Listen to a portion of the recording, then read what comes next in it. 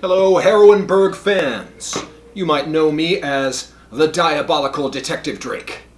But in real life, I am Benjamin Zeus Barnett, artist and letterer for Heroineburgh Comics.